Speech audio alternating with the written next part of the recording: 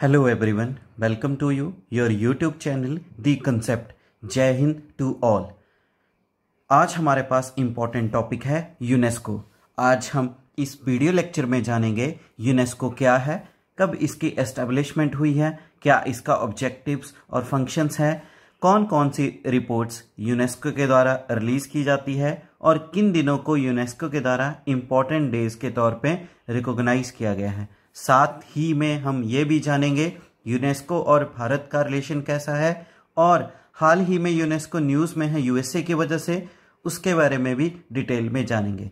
चलिए, इस video lecture को शुरू करते हैं आज के इंटरेस्टिंग टॉपिक यूनेस्को के साथ। वीडियो लेक्चर को शुरू करने से पहले आप सबके सामने एक क्वेश्चन है और आपको इस क्वेश्चन का आंसर कमेंट बॉक्स में करना है। क्वेश्चन है where is the headquarter of Asian Development Bank. Asian Development Bank, यानी कि एडीबी का हेडक्वार्टर कहाँ पे है? ए ऑप्शन है Washington DC B option Geneva C option Manila D option Shanghai आप सब इस क्वेश्चन का आंसर कमेंट बॉक्स में कीजिए। चलिए शुरू करते हैं इंटरेस्टिंग टॉपिक यूनेस्को को।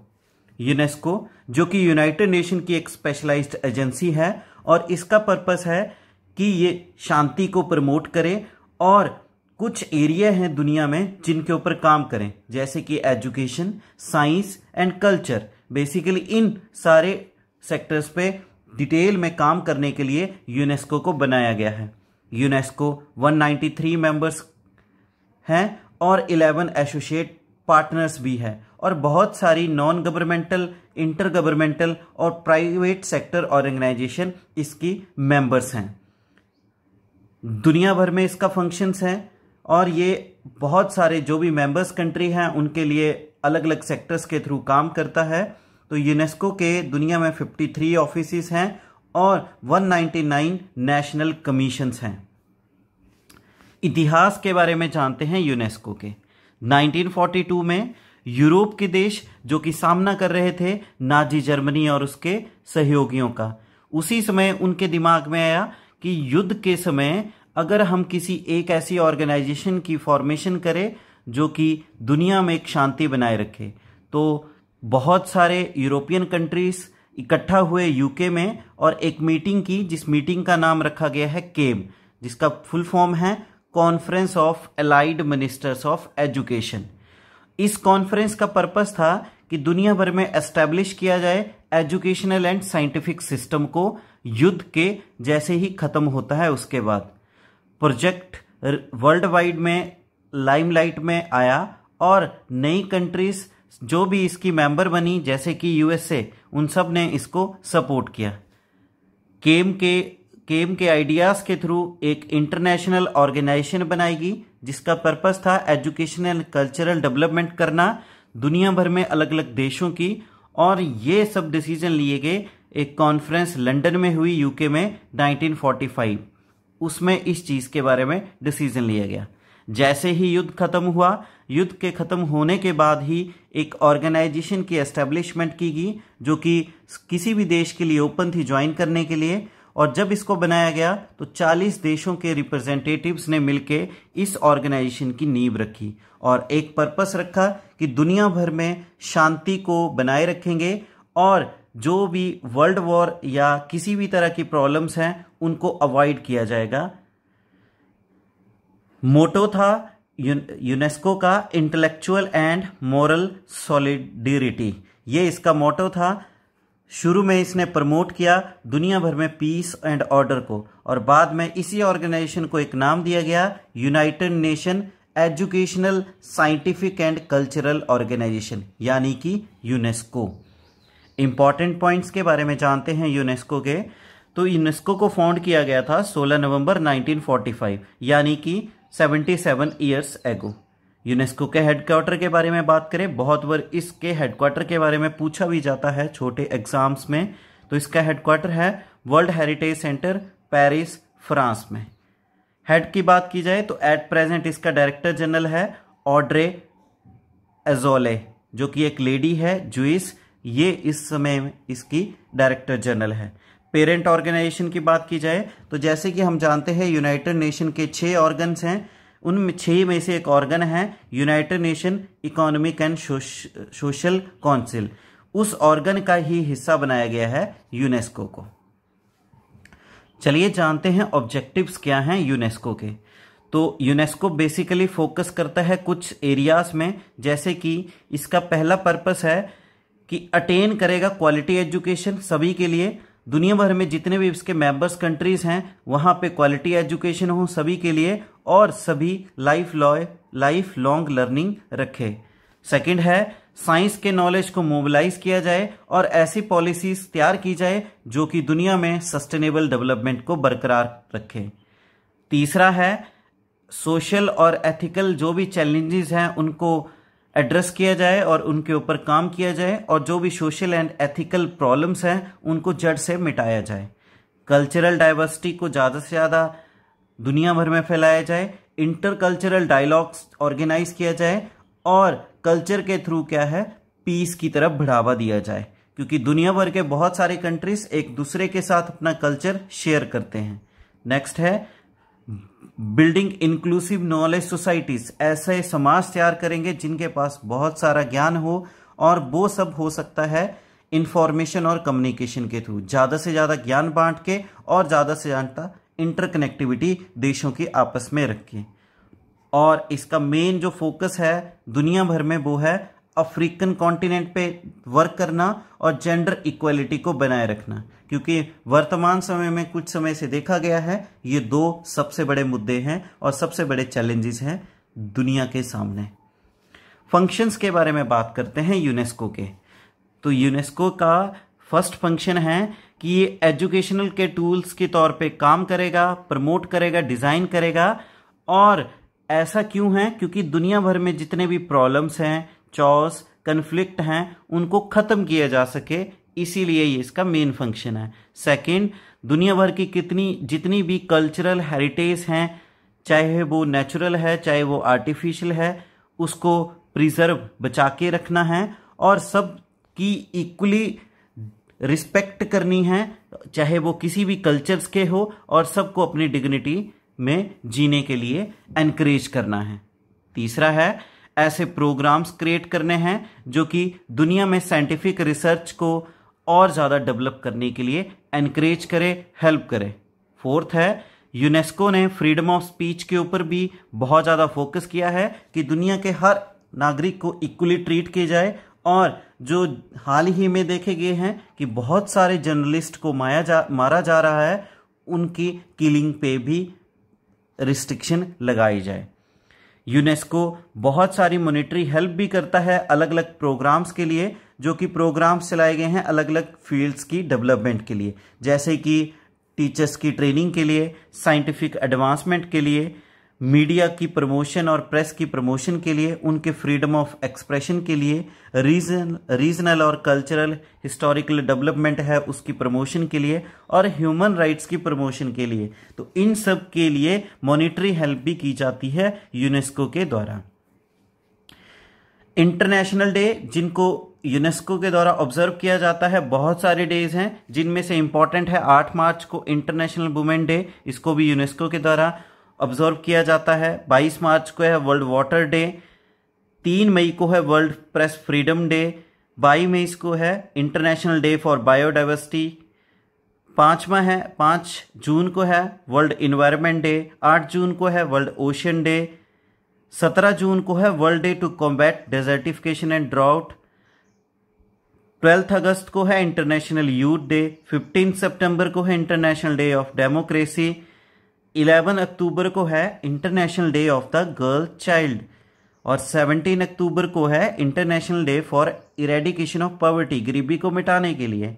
24 अक्टूबर को मनाया जाता है यूनाइटेड नेशन डे 16 नवंबर को मनाया जाता है international day for tolerance one first दिसंबर को मनाया जाता है वर्ल्ड एज डे तीन दिसंबर को मनाया जाता है international day of person with disabilities human rights से 10 दिसंबर को 18 दिसंबर को इंटरनेशनल माइग्रेशन डे। तो ये बहुत सारे इंटरनेशनल डेज़ हैं जिनको ऑब्ज़र्व किया जाता है यूनेस्को के द्वारा। और एग्ज़ाम्स में इन डेज़ के बारे में भी बहुत टाइम क्वेश्चन आता भी है।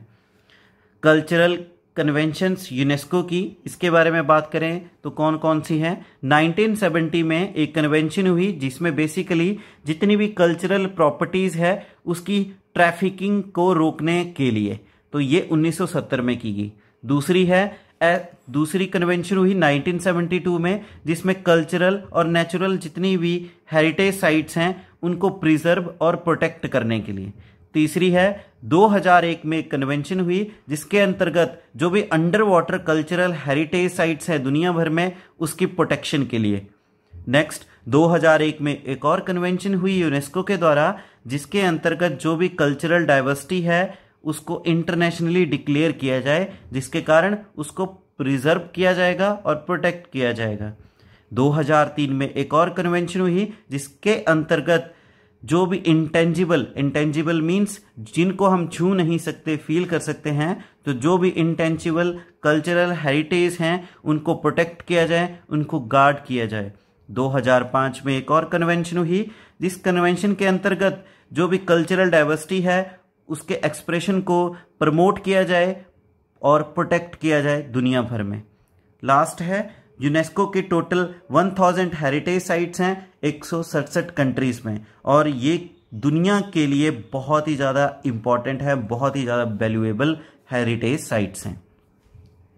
इंपॉर्टेंट इनिशिएटिव्स जो कि यूनेस्को के द्वारा लिए गए हैं उनके बारे में बात करें। तो पहला है world heritage convention and list basically इसमें क्या है? जितनी भी वर्ल्ड की natural and cultural heritage sites हैं, उनको प्रोटेक्ट किया जाएगा और इसके लिए कन्वेंशन हुई 1972 में। इसमें जितनी भी वर्ल्ड हेरिटेज साइट को यूनेस्को का स्टेटस दिया जाता है, फिर उन्हें दुनिया भर में प्रमोट किया जाता है प्रिजर्व किया जाता है और प्रोटेक्ट किया जाता है। वर्तमान समय में दुनिया भर में total 1121 UNESCO world heritage sites हैं, जो कि 167 कंट्रीज़ में लाई करता है। दूसरा इनिशिएटिव है मैप प्रोग्राम। जितने भी बायोस्फेयर रिज़र्व है दुनिया में, उसके अंतर्गत एक स्पेशल प्रोग्राम चलाया गया यूनेस्को का, कि बायोस्फेयर रिज़र्व में से जो बहुत ही ज़्यादा इंपॉर्टेंट है मैन के लिए और बायोस्फेयर के लिए, उनको एक नाम दिया गया मैप प्रोग्राम, यानी कि मैन एंड बायोस्फेयर प्रोग्राम। इसके अंतर्गत दुनिया भर में वर्ल्ड नेटवर्क है बायोस्फेयर रिज़र्व का एट प्रेजेंट 124 देशों में और 701 साइट्स हैं। जिसके अंतर्गत जितने भी नेचुरल बायोस्फेयर रिज़र्व हैं, उनको प्रोटेक्ट किया जाएगा, उनको प्रमोट किया जाएगा, जो कि दोनों के लिए इंपॉर्टेंट है ह्यूमन के लिए भी और वाइल्ड लाइफ के लिए। तीसरा है international geo science and global geo park programme IGGP इसके अंतर्गत क्या है? जियोलॉजिस्ट की हेल्प होती है कि वो जियोग्राफी अर्थ की अच्छे से उसको अंडरस्टैंड करें एनालाइज करें और बहुत ज़्यादा ज्ञान प्राप्त करें और डेप्थ में जियोग्राफी के बारे में। यानी कि अर्थ की जियोलॉजी की बिल्कुल डिस्क्रिप्शन पता हो। बेसिकली इसमें फोकस किया गया, जितने भी नेचुरल रिसोर्सेज हैं और जितने भी नेचुरल हैजार्ड्स होते हैं, उनसे कैसे प्रोटेक्ट किया जा सकता है दुनिया की लाइफ को नेचुरल रिसोर्सेज को और जो क्लाइमेट का चेंज आ रहा है, उसे भी कैसे रोका जा सकता है? इस चीज़ के लिए ग्लोबल जियो पार्क्स की लैब्स एस्टेब्लिश की गई है दुनिया भर में, और जो अर्थ की नेचुरल साइट्स हैं, उनको डेवलप किया जा रहा है, और इन लैब्स के थ्रू उन्हें प्रोटेक्ट किया जाएगा। करंटली, दुनिया भर में 147 यूनेस्को ग्लोबल जियो पार्क्स है, और इसके 41 मेंबर स्टेट्स हैं। नेक्स्ट है इंटरनेशनल हाइड्रोलॉजिकल प्रोग्राम आईएचपी इसमें बेसिकली यूनेस्को फोकस रखता है, जितने भी water related research and education है, उसके ऊपर ज़्यादा एनालाइज किया जाए, ज़्यादा नॉलेज गेन किया जाए और वाटर रिसोर्सिस को प्रोटेक्ट किया जाए। लास्ट इनिशिएटिव है world water assessment programme P इसमें बेसिकली क्या है, जो दुनिया भर में वाटर के क्राइसिस हैं, उसको अच्छे से स्टडी किया जाए, किस तरह से वाटर को क्राइसिस को दूर किया जा सकता है, और यूनेस्को के द्वारा क्या हेल्प की जा सकती है कि दुनिया भर की जो पानी की समस्या है, उसको दूर किया जाए। वर्तमान समय में इस प्रोग्राम के थर्टी वन मेंबर्स हैं। इंपॉर्टेंट रिपोर्ट्स जो यूनेस्को के द्वारा रिलीज़ की जाती हैं, उसके बारे में जानते हैं। तो नंबर वन है ग्लोबल एजुकेशन मॉनिटरिंग रिपोर्ट। दुनिया भर के एजुकेशन को मॉनिटर किया गया, उसके ऊपर एक रिपोर्ट रिलीज़ की गई। दूसरा है culture, urban future, global report on culture of sustainable urban development. तीसरा है united nation world water development report. पानी के ऊपर भी एक रिपोर्ट तैयार की जाती है। फोर्थ है world ट्रेडम trends in freedom of expression media development ये बेसिकली प्रेस और मीडियम से मीडिया से रिलेटेड उनकी फ्रीडम ऑफ़ एक्सप्रेशन से रिलेटेड एक रिपोर्ट है। नेक्स्ट है international conference on artificial intelligence and education and planning education artificial intelligence और उससे रिलेटेड एजुकेशन और प्लानिंग एजुकेशन से रिलेटेड ये रिपोर्ट है। रीशेपिंग कल्चरल पॉलिसी अलग अलग कल्चरल पॉलिसीज़ को कैसे प्रमोट किया जा सकता है, उससे रिलेटेड रिपोर्ट है ग्लोबल ओशियन साइंस रिपोर्ट है इंजीनियरिंग से रिलेटेड बहुत सारे रिपोर्ट्स हैं, कैसे इंजीनियरिंग में इश्यूज़ हैं चैलेंजेस अपॉर्चुनिटीज़ हैं डेवलपमेंट से रिलेटेड यूनेस्को की साइंस रिपोर्ट है, जो कि 2030 तक बताती है। फिर यूनेस्को की स्टेट ऑफ़ एजुकेशन रिपोर्ट है भारत के लिए, जो कि उन बच्चों के बारे में भी जानकारी देती है, जो कि डिसेबिलिटी से जूझ रहे हैं। हाल ही में न्यूज़ में देखा गया है और सुनने में आया है यूनेस्को यूनेस्को को फिर से ज्वाइन कर रहा है दुनिया का सबसे बड़ा देश, यूएसए। तो क्वेश्चन है why has USA move to join UNESCO again 2019 में यूनेस्को को छोड़ दिया गया था यूएस और इसराइल के द्वारा। तो कुछ रिपोर्ट्स के अकॉर्डिंग यूएसए ने ऑफिशियली कहा है कि वो फिर से वापिसी कर रहे हैं यूनेस्को में। और इसका रीजन क्या दे रहे हैं? क्योंकि जो उनकी पोजीशन थी यूनेस्को में, उसको फिल कर रहा है चाइना। और वो इस चीज़ को टॉलरेट नहीं कर पा रहे हैं, क्योंकि अगर यूएसए एबसेंट है यूनेस्को में तो जो चाइनीज़ पॉलिसी है, वो अपने इन्फ्लुएंस करना शुरू कर देंगी। तो उसी इन्फ्लुएंस को टारगेट करते हुए यूनेस्को में फिर से यूएसए वापस ज्वाइन कर रहा है। और इसमें बेसिकली वो आर्टिफिशियल इंटेलिजेंस और टेक्नोलॉजी एजुकेशन के ऊपर काम करना चाहता है और एक स्टैंडर्ड सेट करना चाहता है। यूनेस्को के डायरेक्टर जनरल ऑड्रे एजोले ने कहा है, जो कि एक जुएस है, कि वो, कि यूएसए हाल ही में फिर से ज्वाइन करेगा और 2017 के इलेक्शंस के बाद यूएसए ने एक डिसीज़न लिया था कि वो छोड़ देंगे तो इसीलिए कह सकते हैं कि एक हिस्टोरिक मूवमेंट है यूनेस्को के लिए कि यूएसए फिर से वापस कर रहा है और ये बहुत ही ज़्यादा इंपॉर्टेंट दिन है मल्टीलेटरलिज्म के लिए। What made the USA leave UNESCO बात है कि यूनेस्को को क्यों छोड़ा गया था यूएसए के द्वारा पहले? ये मुद्दा उठता है 2011 में। यूनेस्को ने पैलेस्टीन को इसकी मेंबर स्टेट बना लिया। और यूएसए को जब इसके बारे में पता लगा तो उन्होंने यूनेस्को की जो फंडिंग है, उसको रोक दिया, जो कि मिलियंस ऑफ़ डॉलर्स थे उस समय के राष्ट्रपति ब्राक ओबामा के द्वारा। अब इंपॉर्टेंट बात यह है कि यूनाइटेड नेशन का पैलेस्टीन मेंबर नहीं है, पर इसे यूनेस्को का एक मेंबर स्टेटस बनाया गया और इसके कारण ये इशू क्रिएट हो गया, क्योंकि यूनेस्को में एक चीज़ सामने आई पैलेस्टीन और इसराइल का आपस में इश्यूज़ हैं, उनके एरियाज़ को लेके। टेरिटरीज को लेके। इसीलिए फिर बाद में पैलेस्टीन को एक नॉन मेंबर ऑब्जर्वर स्टेटस दिया गया इसराइल के ऑब्जेक्शन के बाद 2012 में। और अब इसका ऑब्जर्वर स्टेटस दिया गया नॉन मेंबर के तौर पे तो इसका मतलब है जो भी जनरल असेंबली होगी, उनमें वो पार्टिसिपेट कर सकता है बट वोट नहीं कर सकता है। 2013 में इसराइल के एम्बेसडर जो कि यूनेस्को में हैं निमरोड बारकन उन्होंने कहा था कि उनकी कंट्री यूएस के डिसीज़न को सपोर्ट करती है कि यूनेस्को का फंड रोका जाना चाहिए, क्योंकि पैलेस्टीन का यूनेस्को के साथ कोई रिलेशन बिल्कुल भी नहीं बनता है। और जहाँ तक पैलेस्टीन की बात है तो पैलेस्टीन क्लेम करता है कि West Bank, East Jerusalem, Gaza Strip, ये सारे टेरिटरीज इसराइल ने कैप्चर कर ली है 1960 वॉर में, और ये बिलोंग करती है पैलेस्टाइन को। और वो एक इंडिपेंडेंट स्टेट है। इसराइल का कहना है कि पैलेस्टाइन बहुत सारे एफर्ट करता है यूनाइटेड नेशन में, कि इन टेरिटरीज को वापिस ले ले और ये बिलोंग करती है इसराइल को। इस तरह से ये इश्यूज़ बहुत सारे लंबे टाइम से चला हुआ है इसराइल और पैलेस्टीन के बीच में। पहले भी यूएस जो है यूनाइटेड नेशन से विड्रॉ कर चुका है यूनेस्को से।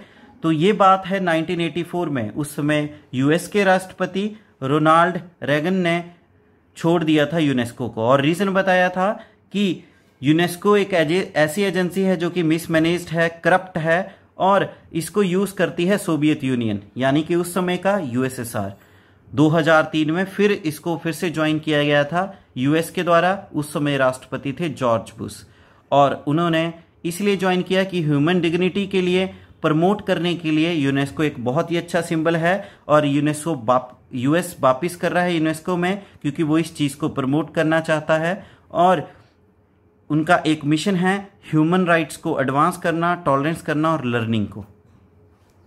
यूनेस्को और इंडिया के सिनेरियो की बात की जाए तो यूनेस्को के जितने भी प्रोग्राम्स हैं उनको चलाने के लिए इंडिया में, इंडिया ने एक चीज़ की एस्टेब्लिशमेंट की, वो है Indian National Commission for Cooperation with UNESCO I N C C U India UNESCO का मेंबर बनाया गया 1946 में।